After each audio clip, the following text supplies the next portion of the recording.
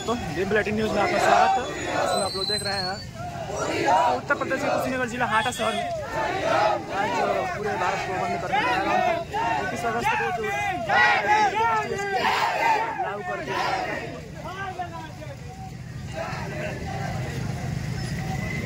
चलवा है भाई का